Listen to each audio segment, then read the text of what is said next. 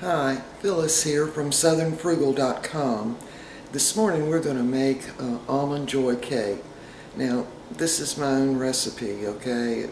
It's been altered a lot and I finally think I've gotten it right. So I'm going to show you the ingredients. Here are the ingredients. Um, we'll need two and a half cups of sifted all-purpose flour, two cups of sugar, one fourth teaspoon salt, one teaspoon of baking soda. Now, it's baking soda, not baking powder. One teaspoon of imitation coconut extract. One teaspoon of pure vanilla extract. One and a third cups of whole buttermilk. Four egg yolks and four egg whites beaten to stiff peaks. One cup or two sticks of softened butter. Okay, now I forgot to take my butter out this morning, so what I did is just cut it up into about uh, little sections and put it in the microwave on defrost for, I don't know, probably 30 seconds, maybe a little more. You don't want the butter melted, you want it just softened. Okay, we're ready to start mixing. Now I've got me a large mixing bowl. I'm going to put in my butter.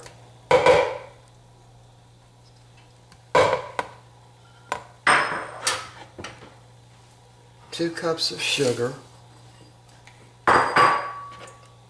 And the four egg yolks.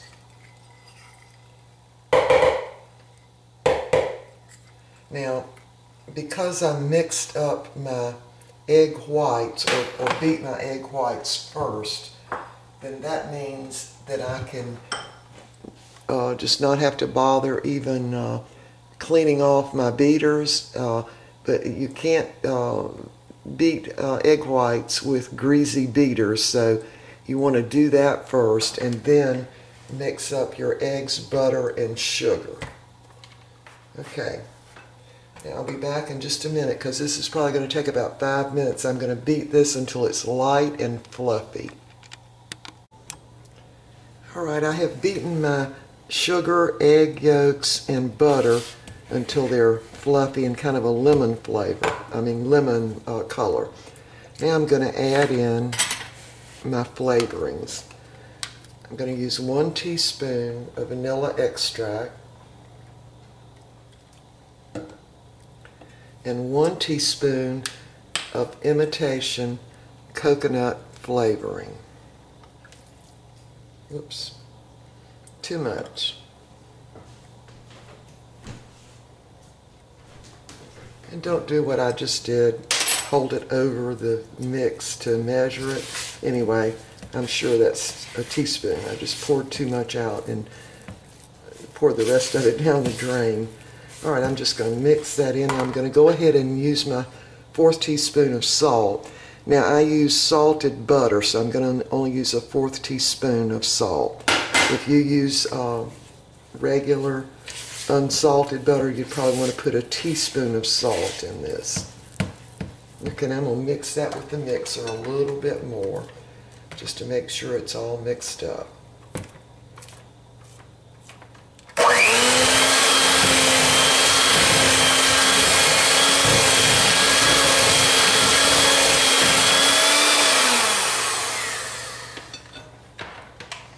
Okay, now the next thing I'm going to do is add the flour and I'm going to mix that in by hand.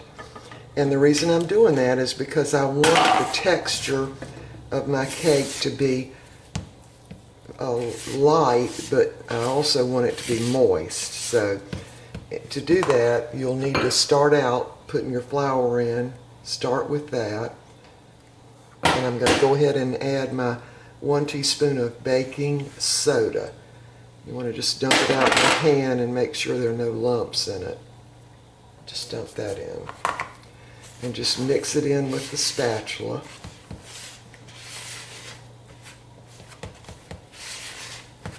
And then next, one and a third cups of buttermilk. I'm gonna pour just a little bit in.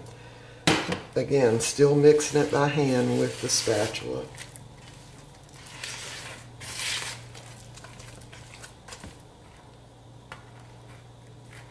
Now this is going to make a, a very uh, moist but still light cake.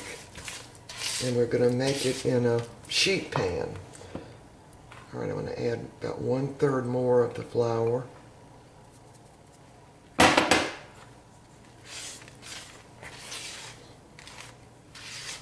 When you mix the cake and you, you use the beater at this stage, it ends up developing the gluten in the flour and you end up getting kind of a tough textured cake. Right now I'm going to add all the rest of my buttermilk.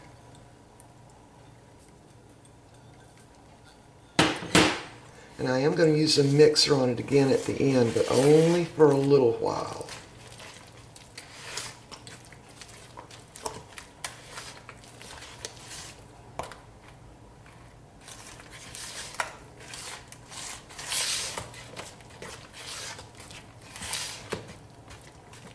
Okay, now we've got all the buttermilk incorporated into this mixture.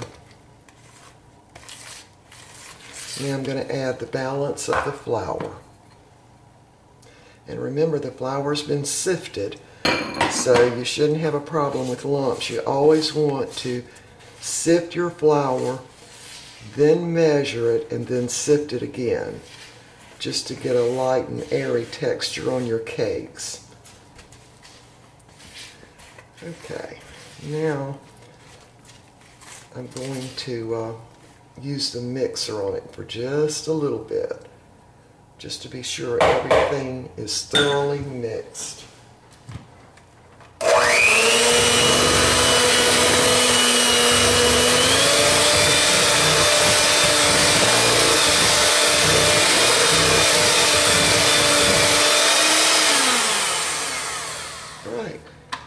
Our mixer anymore. Now, the four egg whites were beaten to stiff peaks. I'm going to dump all that in at one time and fold it into this batter. All at once. And to fold it in, I'm going to pull the batter up over top of the egg whites as much as I can. You're not going to be stirring like that. You want to fold it by picking it up and just keep turning it over and over and over. And they will eventually go in. It might look like there's some lumps in there, but that'd be okay. You're just incorporating air into your batter. And of course these egg whites are going to expand when they're cooked and that's what's going to give you that great texture on your cakes. I pretty much make all my cakes this way regardless of what kind it is, uh, other than maybe a pound cake. And my apple cake I don't do this way. But if it's just going to be a regular sheet cake, chocolate, vanilla, or uh, in this case coconut, I usually always fold my egg whites in. Okay, there it is. Now this is a 12, uh, excuse me, it's a 10 by 15 pan. Uh, you could make it in a smaller, like a 8 by 12, it'd just make the cake taller. All right, so I'm just going to dump it all in at once. And this is the base for my almond joy cake. Now, all of my recipes are really from I don't even know where. Some of them I've been making so long I don't remember where I got them. But uh, every single cake I make has been altered in some way just because I like a cake that's very moist and I want it to taste really good. So I usually end up altering them in some way to give it the texture that I'm looking for. Okay, we're going to bake this at 350 degrees and I'm doing that because I've got a dark pan. If you've got a light can, pan, you could probably go ahead and bake it at 350. But you want to just insert a toothpick in it uh, while it's still in the oven, and if it comes out clean, you know the cake is done. So when this cake gets done, we'll be back and make the icing. The cake is done now, and we're ready to make the uh, topping to go on it. And we're going to do that in the food processor. So what I'm going to use is a pack of Baker's Angel Flake Coconut, and this is a seven ounce pack. I'm just going to dump that in. And the reason I'm doing this is because I want that coconut ground up smaller than it was in the pack. All right, I'm going to dump in one cup of confectionery sugar.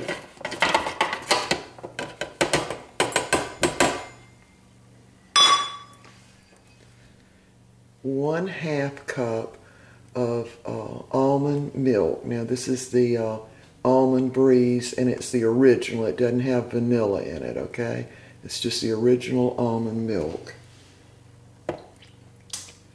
Now I might need a little more, so I'm just going to um, mix it up first and find out if I'm going to need a little bit more.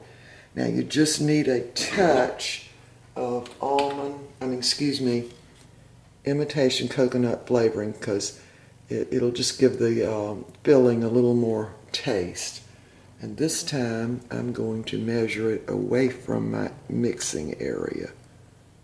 So probably about a fourth of a teaspoon. All right, I'm ready to mix it up now. And I'm going to uh, come right back as soon as we get it all mixed up, which will probably take maybe two minutes. All right, that took about two minutes uh, in the food processor. And uh, it was just, I only needed a half cup of the almond milk. Um, depending on the confectionery sugar, you might need a little more or a little less. But you want it just slightly runny. And what's going to happen is that almond milk some of it is going to seep down into the cake. Now what we're going to do is just spread this over the cake as best we can.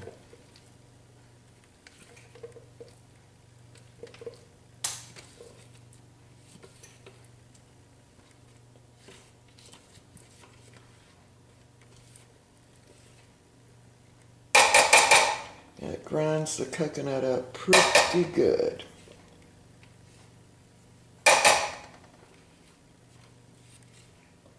Alright, you just want to gently spread this out on top of the cake.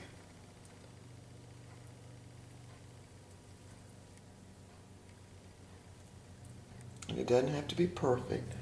Just spread it out, you know, as evenly as you can get it.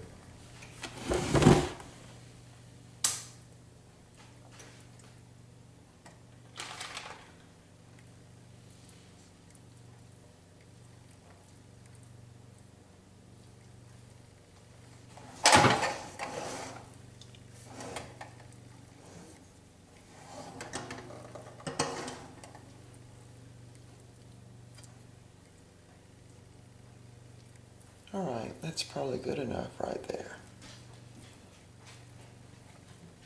And remember, this is an Almond Joy cake.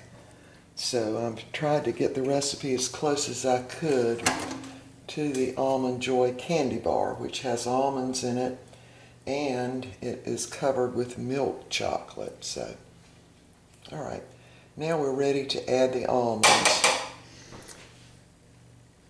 And this is sliced almonds, and this is a two ounce little bag, and I'm going to add uh, two of them on top of the coconut. Just sprinkle them on.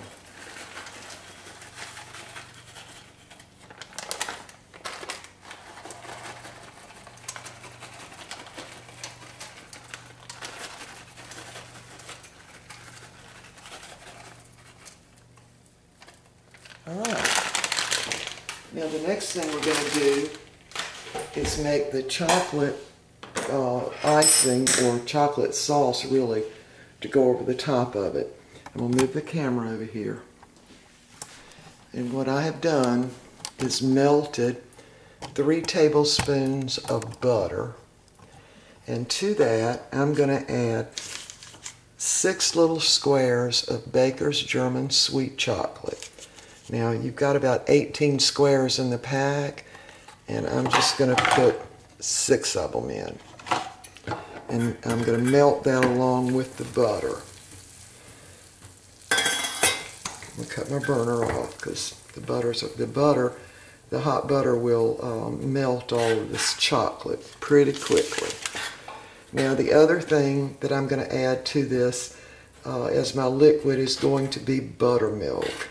Now I use the buttermilk because first of all you can't tell it's buttermilk when you get it in the little sauce here. And it sort of cuts down on so much of the sweetness. And again that's going to be whole buttermilk. And of course we're going to put confectionery sugar in. And um, also we're going to put in about a half a teaspoon of vanilla extract one little dash of salt. And I'm going to put my extract in as soon as everything gets uh, mixed together. All right, see my chocolate is pretty well melted now, and I do I don't have the burner on now. And I'm going to start adding the confectionery sugar. We'll start out with what looks like about, I don't know, maybe a cup and a half of confectionery sugar mix that in. And I'm going to also go ahead and put in some buttermilk. That look like about a fourth of a cup maybe. And that's just to start out. Because we want this to be a slightly runny icing. Just slightly.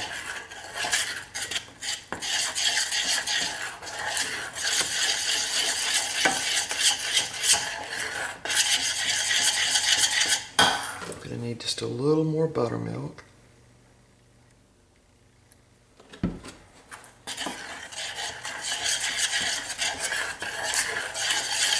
And now I'm going to go ahead and add my vanilla extract.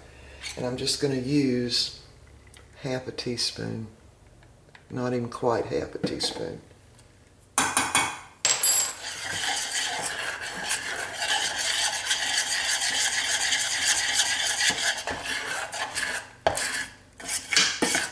Okay, now I'm going to mix this up with a little whisk just to get the lumps out of it. And once I get this thoroughly mixed, we'll be back. And I might go ahead and add some uh, more confectionery sugar and a little more buttermilk because I want a little bit more than this. Alright, my icing is ready. And I'm going to show you one little trick. I'm going to add about a tablespoon of light corn syrup and that's to prevent my icing from getting crusty on top or from turning sugary. So just pour it in, about a tablespoon of the light corn syrup and mix that up. Now I did have to use my electric mixer on this because as it turned out my confectionery sugar was lumpy, lumpy, lumpy. Now usually because they pack the confectionery sugar in plastic bags now, it usually is not lumpy, but this particular one, uh, little bag, was very lumpy. Uh, normally I would just use a little whisk to mix this up. Alright. Now I'm going to just pour it on my cake and try to get it covered completely. I'm just starting at one side and going back and forth.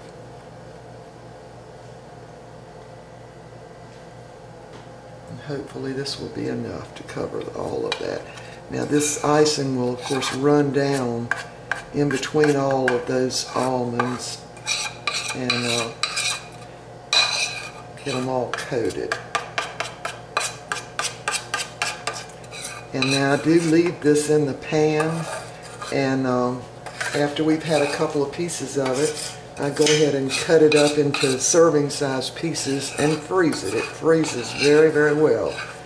And when you're ready to eat some out of the freezer, all you have to do is take it out and put it on a little saucer, of course, and uh, thaw it out in the microwave on defrost.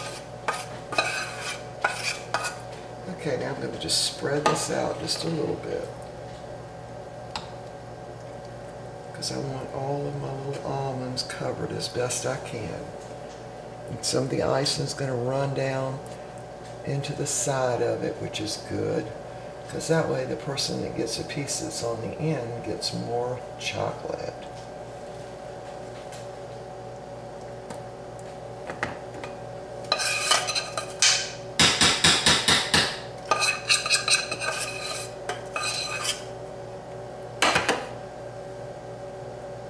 All right, there you have it. Almond Joy cake.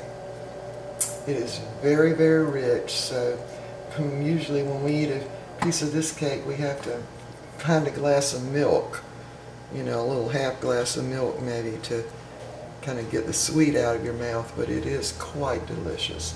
And it does taste exactly like an Almond Joy candy bar. And remember, the Almond Joy candy bar is milk chocolate. It's not that dark chocolate. Now, if you wanted to make something like the mound the mound candy bar, you would just leave out the almonds and put more uh, of that uh, German sweet chocolate or even cocoa into your top layer. So we'll be back in a few minutes and I'll show you the recipe and I'm going to cut this and show you what it looks like. Okay, here's the Almond Joy cake and I've cut us both a piece because we're going to have some right after lunch. Here's the other piece. And if you look real close, you can see a lot of that moisture has soaked down into the cake. Again, that's Almond Joy cake. Now I'm going to show you the recipe. This is the recipe for the cake. Here are the instructions, and here's the icing. Now on the icing, down at the bottom, I just wrote confectionery sugar and buttermilk. You'll want to just make a slightly runny frosting. And that uh, tablespoon of uh, corn syrup will prevent your icing from ever getting sugary. Here's the cake in the pan. Now I just leave it in the pan and then uh, I'll you know, several hours and let that moisture soak all through the cake. Then I'm going to cut it up into slices and freeze it and you can thaw it out in the microwave on defrost and it'll be like it was just made. Now this cake is actually still slightly warm. Alright, we'll be back next time with uh, more recipes.